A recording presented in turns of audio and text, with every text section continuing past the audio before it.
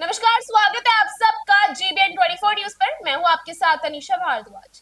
पत्रकारों को आमंत्रण कार्ड नहीं पहुँचने से हुए नाराज़, कर दी बहिष्कार की चेतावनी। जिला मुख्यालय मोहल्ला में पत्रकारों ने जिला प्रशासन पर उपेक्षा का आरोप लगाया और जिला प्रशासन द्वारा आयोजित स्वतंत्रता दिवस कार्यक्रम का बहिष्कार का ऐलान कर दिया।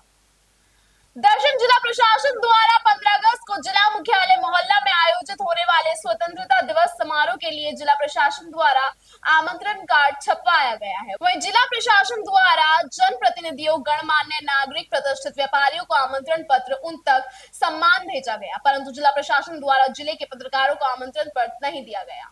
जिला प्रशासन मोहल्ला के पीआरओ के द्वारा व्हाट्सएप ग्रुप में आमंत्रण पत्र भेजकर कार्ड कार्यालय से लेने के लिए कहा गया, जिससे ज़िले के सभी पत्रकार भड़क गए और अपने आप को अपमानित महसूस करने लगे। उसके बाद प्रेस के अध्यक्ष पैनसपुरी गोस्वामी के निर्देश के बाद ज़िले के पत्रकारों ने स्वतंत्रता दिवस समारोह का बहिष्कार कर दिया। ज़िले के पत्रकार कार्यक्रम में नहीं शामिल हुए और न ही कार्यक्रम से संबंधित पी से प्राप्त खबरों का प्रशासन किया। यह पहला मौका नहीं है जब ज़िले के पत्रकारों से जिला प्रशासन भेदभाव कर रहा है। इससे पहले भी कई बार जिला प्रशासन ने पत्रकारों के साथ भेदभाव और बदसलूकी की है। फ़िलहाल इस खबर में इतना ही। धन्यवाद।